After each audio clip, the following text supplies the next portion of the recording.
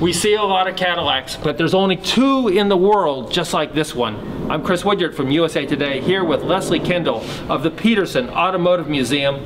This is a Cadillac that was coachwork by Ghia.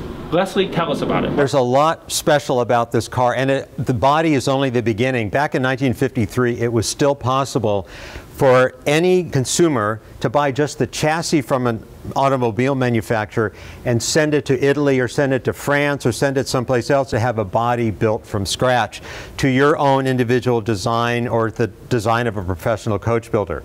And only a couple of these were built, and these were done by both by Ghia. Ghia in Italy, I think we've heard of the Karmann Ghia. Well, Ghia actually did the design of that Karmann Ghia body. Karmann in Germany built the body, but it was a Ghia design. Here we have that similar thinking scaled way, way up on a luxurious 1953 Cadillac chassis. Um, and you really have the perfect marriage of, of American practicality and European flair. What's special about this coachwork? What turns you on about this car? What, what's so interesting about this coachwork is that it embodies everything that's beautiful about Italian design. It's low, it's fleet looking, it's very angular, it's concise. In 1953, the American Cadillac was still a little bit bulbous. It had fins that were just starting to get bigger. It was a, a little bit um, a little puffy in some areas and had lots and lots of chrome that some people thought really didn't need to be there.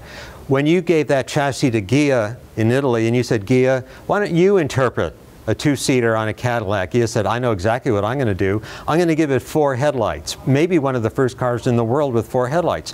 I'm going to reduce the grille to only the size it absolutely needs to be. And I'm going to make it a very simple grid pattern, kind of an egg crate pattern. I'm going to make the fenders go from one end to the other in one sweeping curve.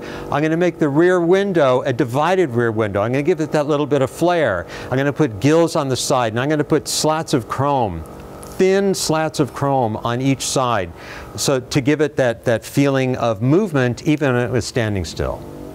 So as you can see, this car could not have turned out more beautiful. At the Petersen Automotive Museum in Los Angeles, under renovation, I'm Chris Woodyard for USA Today.